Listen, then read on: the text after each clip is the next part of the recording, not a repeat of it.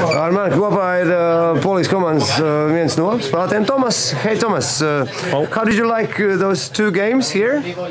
Yeah, it was like I think good experience for us because uh, like I think it uh, wasn't like uh, low level for us. It was like good matches for uh, before before season, and I'm glad that uh, we can uh, we can be here and. Uh, I hope so that uh, we can we could uh, uh, go there again, like maybe next year or something like this. Okay. Is this your first time in Riga?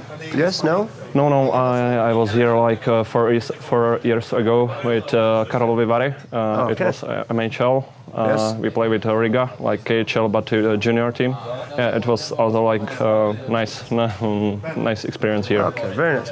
Uh, so, how could you compare uh, level of extra league in Poland and like Kurbads' team, for example? I know it's very hard because uh, like it was only like two games, but like only from two games I can to tell that uh, like Kurbat is a really good team. I think like in the Poland Extra League uh, could be like in high positions. Okay, Tomas. Nice to meet you, and uh, have fun and have a good season. Thank right? you, nice to meet yeah, you. Take care.